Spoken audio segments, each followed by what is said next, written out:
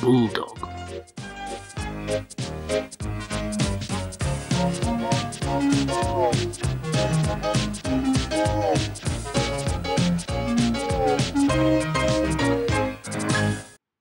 One morning, Percy was impatient. The other engines were still dozing, but not Percy. Driver should be here by now. What's he doing? Sleeping, grunted Gordon. But that means I'll be late. The coaches will be waiting and the passengers will get cross, moaned Percy. Never mind, Percy, said Thomas. It'll soon be time for work. But be careful or you might run into danger. And, he added, Duke is not here to save you. Duke? stuttered Toby. You mean our hero? The very same, said Thomas. Driver told me the story, and this is the story Thomas told them. Long ago, when Peter Sam was called Stuart and Sir Handel was known as Falcon, they worked with Duke on the old railway. But Falcon still had a lot to learn. The manager came to see him. Falcon, you must learn a difficult part of the line. We call it the mountain road. Falcon was excited. So tomorrow, continued the manager, when you have a new coat of paint, you will go on it. Duke will explain everything. Huh, thought Falcon. Duke's just a fusspot. Next day came.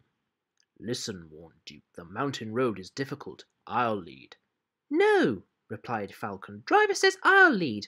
How can I learn the route with you blocking the view? Suit yourself, said Duke, but never mind the view. Look at the track. The engines set off on their journey at once. They steamed over the river bridge and started the long, steep climb up into the mountains.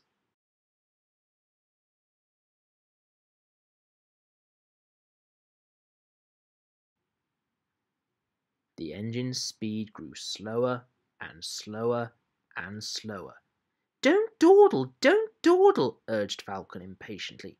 No hurry, no hurry, puffed Duke.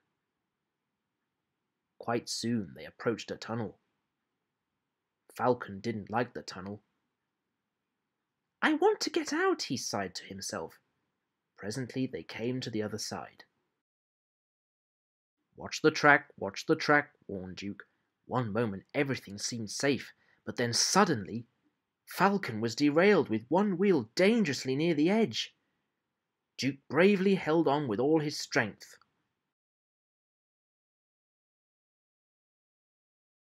Stop shaking, called Duke. I can't hold you if you shake. Falcon tried hard to stop shuddering.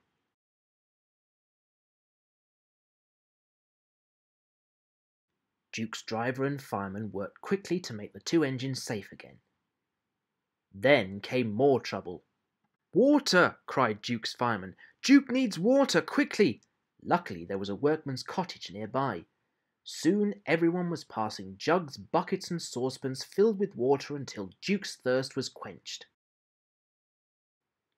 As Duke's steam pressure gradually started to rise, he began to feel stronger and stronger. At last, with everyone's help, he was able to pull Falcon back on the rails.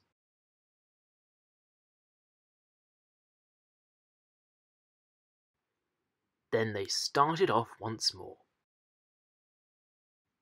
The manager was waiting at the top station.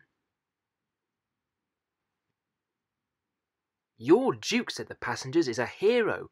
He stood firm like a bulldog and wouldn't let go. Falcon was grateful too. Thank you for saving me, Duke. I don't know why you bothered with me after I'd been so rude. Oh, well, Duke replied. You'd just had a new coat of paint. It would have been a pity if you'd rolled down the mountain and spoilt it.